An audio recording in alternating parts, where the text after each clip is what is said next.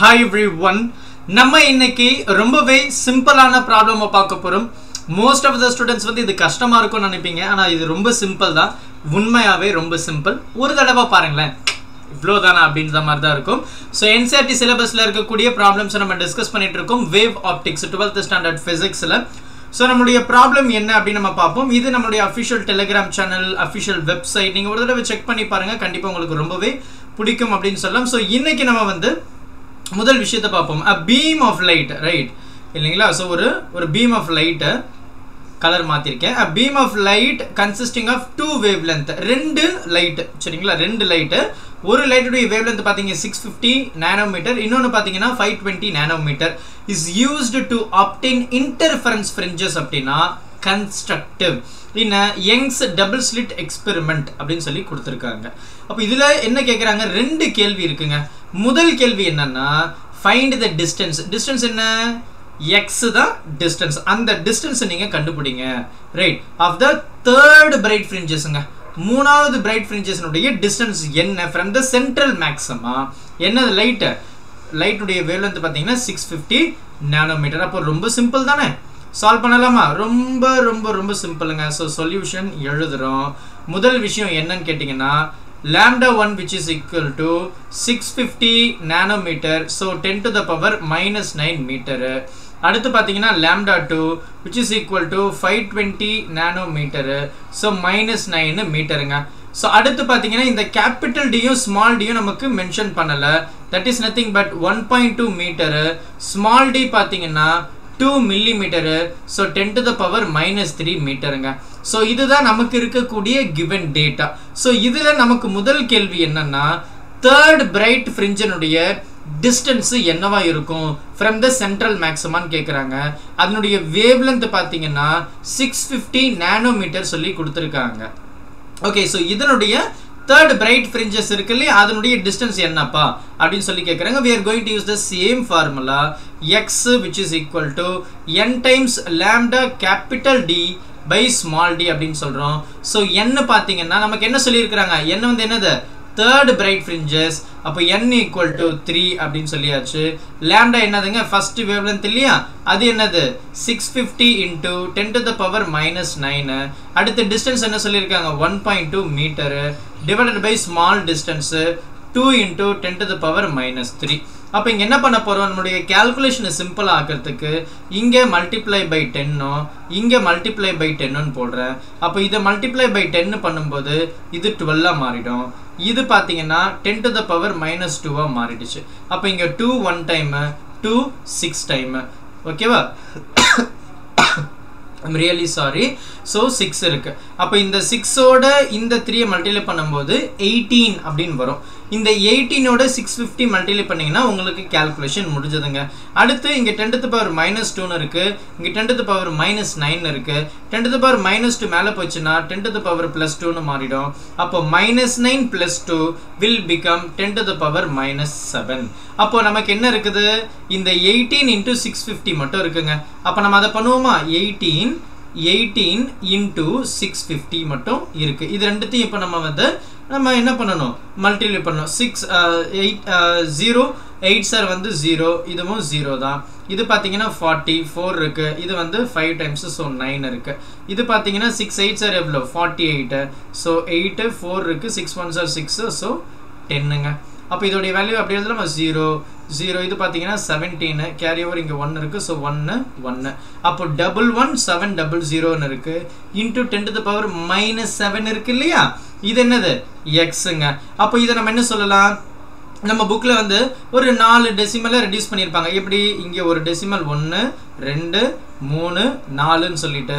So x which is equal to one point one seven into ten to the power minus three மீட்டர்னு கொண்டு வந்துட்டு which is nothing but one point one seven millimetre அதை தான் வந்து எக்ஸ்ன்னு சொல்லி கொடுத்துருப்பாங்க. அப்போது சிக்ஸ் ஃபிஃப்டி நேனோமீட்டருடைய டிஸ்டன்ஸ் பார்த்தீங்கன்னா ஒன் பாயிண்ட் ஒன் செவன் அப்படின்னு நம்ம சொல்லிட்டு இருக்கோங்க அப்போ இது நமக்கு தெரிஞ்சது. ஸோ அடுத்து நம்மளுடைய கேள்வி என்னன்னு பார்த்தீங்கன்னா பாருங்களேன் what is the least distance அதாவது ரொம்ப கம்மியான டிஸ்டன்ஸ் என்ன அப்படின்னு சொல்லி கேட்குறாங்க what is the least distance from the central maxima where the bright fringes due to both the wavelength ரெண்டு வேவ் லென்த்தும் என்ன ஆகுது? கோயின்சைட் அப்போ ரெண்டுமே மீட் ஆகுறது. கன்ஸ்ட்ரக்டிவ் இல்லையா? ஸோ அதை தான் நம்ம வந்து என்னவா இருக்கும் அப்படின்னு சொல்லி நமக்கு கேட்குறாங்க ரொம்ப சிம்பிளான ஒரு கான்செப்ட் அப்போது நமக்கு முதல் வேவ்லேருந்து நம்ம என்ன சொல்லலாம்? எக்ஸ் என்ன லேம்டா ஒன்று capital d by small d அடுத்து பார்த்தீங்கன்னா x two which is equal to n times lambda two d by small d அப்படின்னு நம்ம சொல்கிறோம் இது ரெண்டு கோயின்சைட் ஆகுது. அப்போ என்ன சொல்லலாம்? இது ரெண்டுமே மீட் ஆகிற இடம். So they both will be equal ரெண்டும் மீட் ஆகுது. ரெண்டுமே சேம் டிஸ்டன்ஸில் தான் இருக்க முடியும். From the central bright fringes அப்போ இது ரெண்டுத்தையும் நான் ஈக்குவேட் பண்ணுறேன் ஸோ என்ன lambda one capital d by small d which is equal to என்ன lambda two capital d by small DA இதில் பார்த்தீங்கன்னா இந்த டியும் இந்த டியும் இந்த டியும் இந்த டியும் கேன்சல் ஆகிடுச்சு அப்போ இந்த இடத்துல இந்த எண்ணம் இந்த எண்ணம் கேன்சல் ஆகலாமா அப்படின்னு உங்களுக்கு கேள்வி வரும். மோஸ்ட் ஆஃப் த ஸ்டூடெண்ட்ஸ் பண்ணக்கூடிய தப்பு இதுதான். இங்கே என்ன சொல்கிறேன்னா ரெண்டு வேவ் லென்த்தை நம்ம கம்பேர் பண்ணுறோம் இல்லையா? ரெண்டு வேவ் லென்த்தை கம்பேர் பண்ணும்போது அதனுடைய ஃப்ரிஞ்சஸ் கண்டிப்பாக மாறுமா அதனுடைய ஃப்ரிஞ்சஸ் வந்து கண்டிப்பாக மாறும். எப்படி? நமக்கு வந்து என் ப்ளஸ் ஒன் அப்படின்னு நீங்கள் கண்டிஷன் எடுத்தாலும் சரிதான். இல்லை என் மைனஸ் ஒன் அப்படின்னு கண்டிஷன் எடுத்தாலும் சரிதான். ரெண்டுமே கரெக்டுங்க நம்ம புக்கில் வந்து என் மைனஸ் ஒன்னு தான் அதனுடைய கன்சிக்யூட்டிவ் ஃப்ரிஞ்சஸ் அப்படின்னு சொல்லியிருப்பாங்க.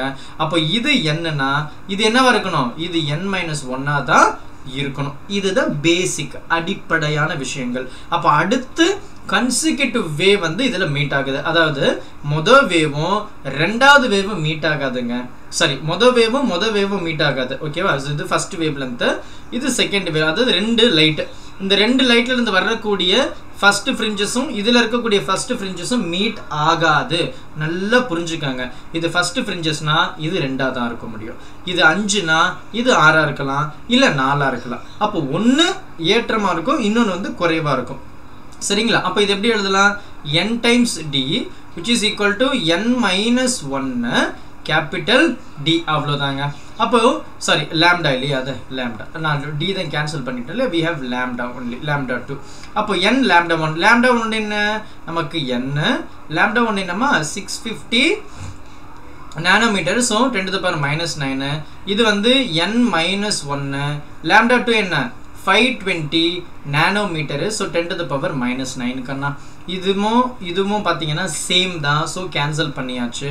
ஸோ இது எப்படி எழுதுவோம்? சிக்ஸ் ஃபிஃப்டி என்ன ஈக்குவல் டு ஃபைவ் டுவெண்ட்டி என்ன மைனஸ் ஃபைவ் டுவெண்ட்டி அப்படின்னு எழுதலாமா? அப்படின்னு ரொம்ப சிம்பிளாக எழுதலாமா?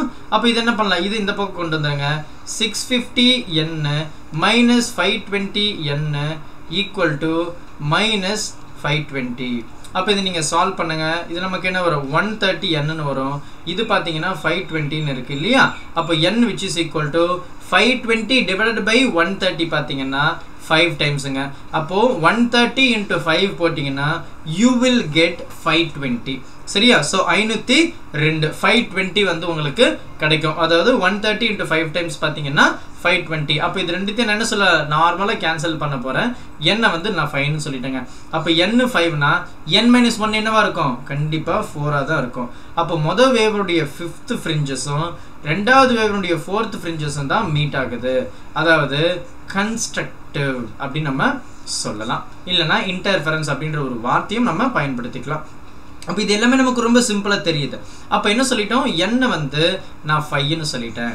அப்போது இந்த செகண்ட் வேவ் லென்த் இருக்கு இல்லையா? அதனுடைய டிஸ்டன்ஸ் என்னவா இருக்குங்க? ஃப்ரம் த சென்ட்ரல் மேக்ஸிமம் அதனுடைய டிஸ்டன்ஸ் என்னவா இருக்கும்? என்ன lambda two capital d by small d. அப்போ என் என்னங்க? ஃபைவ்னு இப்போ தான் நம்ம கண்டுபிடிச்சோம். லேம்டா டூ பார்த்தீங்கன்னா five twenty nanometre so ten to the power minus நைனுமா அப்புறம் பார்த்தீங்கன்னா டி பார்த்தீங்கன்னா one point two small d பார்த்தீங்கன்னா two mm so ten to the power minus three அதே தான் டென் மல்டிப்ளை பை டென்னு இதுவும் மல்டிப்ளை பை டென்னு அப்போ இது என்ன ஆகிடும் டுவெல்லாக மாறிடும். அப்போ டுவெல் சிக்ஸ் டைம்ஸ் இது. போயிடுச்சு இல்லையா? அப்போ ஃபைவ் சிக்ஸ் ஆர் தேர்ட்டி அப்புறம் ஃபைவ் டுவெண்ட்டி இருக்குது அப்போ ஃபிஃப்டி டூ இன்டூ த்ரீ ரெண்டு ஜீரோ இருக்குப்பா அதை மறக்கக்கூடாது. அப்போ இது பார்த்தீங்கன்னா சிக்ஸ் டைமு ஃபைவ் த்ரீ சார் ஃபிஃப்டீனு அப்போ ஒன் ஃபிஃப்ட் இந்த ரெண்டு ஜீரோ ஃபைவ் டுவெண்ட்டியில் இருக்கிற ஜீரோவும் தேர்ட்டியில் இருக்கிற ஒரு ஜீரோவும் அப்போ நமக்கு என்ன வருது? One fifty six double zero into ten to the power minus nine இருக்குது இது என்ன ஆயிடுச்சு? இது வந்து ten to the power minus டூவாக மாறிடும். மேலே போயிடுச்சுன்னா ப்ளஸ் டூவாக மாறிடும். அப்போ which is equal to one fifty one one five six double zero ten to the power minus seven இருக்குது இதை மில்லி மீட்டரில் கன்வெர்ட் பண்ணுறதுக்கு மறுபடியும் இங்கே நாலு ஜீரோ ஒன்று ரெண்டு மூணு நாலு. அப்போ one point five six ten to the power minus three மீட்டர்னு வரும். இது எப்படி எழுதலாம்? One point five six mm அப்படின்னு எழுதலாம். So this is nothing but x டூங்க. அப்போ எக்ஸ் ஒன் நமக்கு என்ன வந்தது? எக்ஸ் ஒன் பார்த்தீங்கன்னா நமக்கு ஒன் பாயிண்ட் ஒன் செவன் எம்எம்னு வந்தது. எக்ஸ் டூ பார்த்தீங்கன்னா ஒன் பாயிண்ட் ஃபைவ் சிக்ஸ்னு வருதுங்க.